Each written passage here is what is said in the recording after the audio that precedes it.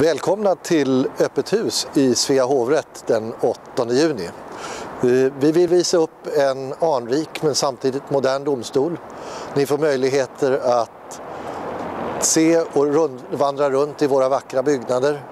Eh, Stenbockska palatset, ett vackert eh, 1600-talspalats i en närmast unik med en närmast unik 1700-talsinredning.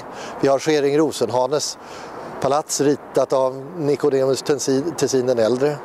Vi har kvarteret Västertorn, det nya hemmet för Mark och miljööverdomstolen och sist men inte minst det Wrangelska palatset, hemmet för Svea hovrätt sedan 1756. Här bakom i palatset eh, satt Ankarström fängslad ja, i väntan på rättegången för mordet på Gustav III. Ni kommer att få titta på, på fängelsehålan.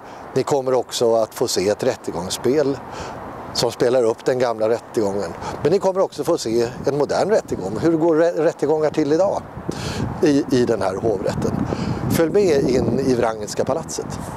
Välkomna in i en av våra rättegångssalar.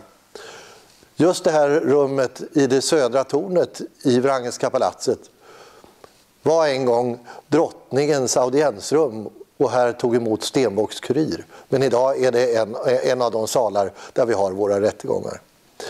I den här salen så sitter rätten på den sidan. Här sitter åklagare och försvarare i ett, i ett brottmål.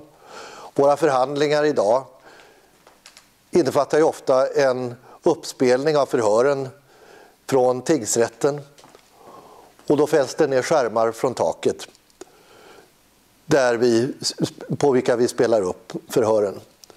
Eh, det här är en av våra 17 rättegångssalar som vi har här på Riddarholmen för att genomföra våra rättegångar i det stora antal mål som vi handlägger här i hovrätten varje år.